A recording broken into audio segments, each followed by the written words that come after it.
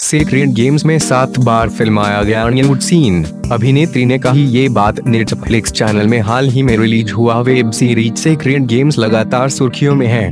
पहले ये web series अपने विवादों को लेकर चर्चा में था। लेकिन अब इसके एक अनियनवुड सीन को लेकर चर्चा हो रही है। वेब सीरीज़ में इस सीन को अभिनेत्री कुबरा सेट ने एक ट्रांसजेंडर कुकू का किरदार निभाया है। कुकू जन्म से तो एक लड़का है, लेकिन एक लड़की की तरह वो अपनी ज़िंदगी बिताता है। वेब सीरीज़ के एक दृश्य में कुबरा को निर्वस्त्र दिखाया जाना था। यही वो सीन है जिसमें नवाजुद्दीन सिद्दीकी को पता चलता है कि कुकू एक लड़की नहीं बल्कि हाल ही में इस अभिनेत्री ने अपने इस सीन को लेकर बातचीत की है। अभिनेत्री ने बताया कि जब वह सीन शूट हो रहा था तब डायरेक्टर अनुराग कश्यप बार बार रिटेक ले रहे थे, सात बार शॉट देने के बाद उस सीन की शूटिंग पूरी की गई। टाइम्स नाउ से हुई बातचीत में अभिनेत्री ने कहा कि इस सीन के लिए अनुराग कश्यप ने मुझे तैयार किया।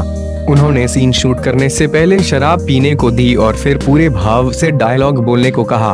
उन्होंने मुझसे सात बार इस सीन को शूट करवाया। टाइम्स नाउ से हुई बातचीत में अभिनेत्री ने कहा कि इस सीन के लिए अनुराग कश्यप ने मुझे तैयार किया। उन्होंने सीन शूट करने से पहले शराब पीने को दी और फिर पूरे भाव से डायलॉग बोलने को कहा। उन्होंने मुझसे सात बार इस सीन को शूट करवाया। खैर, आपको बता दें कि web series sacred games Vikram Chandra की नॉवेल पर आधारित होगी, जिसकी कहानी मुंबई के आपराधिक पृष्ठभूमि पर बुनी गई है। इसका निर्देशन अनुराग कश्यप और विक्रमादित्य ने मिलकर किया है। वेब सीरीज़ में मुख्य भूमिका के तौर पर सैफ अली खान, नवाजुद्दीन सिद्दीकी और राधिका आप्टे नज़र आए हैं।